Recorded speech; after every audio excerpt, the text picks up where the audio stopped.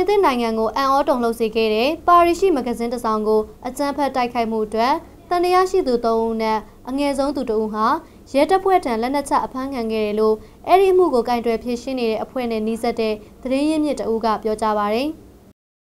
လူမှုမီဒီယာမှာပြန့်နှံ့ခဲ့တဲ့တရခန်လို့ယူဆရတဲ့မတင်ငါသူ၃ဦးရဲ့အမည်တွေမှာသူ့နာမည်ကိုတွေ့ခဲ့ရပြီးနောက်အသက်18နှစ်အရွယ်ဟာမစ်မိုရက်ဟာဒေသစံတော်ချိန်ဇန်နဝါရီလ9ရက်နေ့ည7:00နာရီမှာရဲတပ်ဖွဲ့ထံလာရောက်အဖမ်းခံခဲ့တယ်လို့သိရပါတယ်။ပြင်သစ်ရဲတပ်ဖွဲ့ဟာတရခန်တွေဖမ်းဆီးရရှိရေးအတွက်လူလူထံကသတင်းချက်လက်တွေတောင်းဆိုခဲ့ပြီးအလိုရှိနေတဲ့တန်တရားရှိသူညီကိုနှစ်ဦးရဲ့တပ်ပုံတွေကိုဇန်နဝါရီလ10ရက်နေ့မှာထုတ်ပြန်ခဲ့ပါတယ်။ အသက်32နှစ်အရွယ်ရှရစ်ကီအော်ရှိနဲ့အသက်34နှစ်အရွယ်စာအီရိုကိုရဲတပ်ဖွဲ့ကကင်မရန်ထုတ်ပြန်ခဲ့ပြီးသူတို့နှစ်ဦးဟာလက်နက်ကင်ထားပွဲရှိပြီးအန်ဒီရဲ့ကြီးမားတယ်လို့ပါရီရဲတပ်ဖွဲ့ကပြောကြားခဲ့ပါတယ်။ညနေဖုံးစုအနက်ရောင်ဝတ်စုံဝတ်တနတ်သမားတွေဟာအလာဟူအကဘာလို့အော်ပြီးပြင်သစ်မဂဇင်းချာလီဟပ်ဘူရဲ့ယုံကိုဇန်နဝါရီလ9ရက်နေ့ကဝင်ရောက်ပစ်ခတ်ခဲ့ပါတယ်။ ပြင်သစ်မှာရာစုနှစ်ဝက်အတွင်းအပြင်းထန်ဆုံးတိုက်ခိုက်မှုဖြစ်တဲ့မဂဇင်းရုံတိုက်ခိုက်ခံရမှုမှာဂျာနယ်လစ်၈ဦးပါအဝင်လူ၁၂ဦးသေဆုံးခဲ့ပါတယ်။အဲဒီတိုက်ခိုက်မှုကို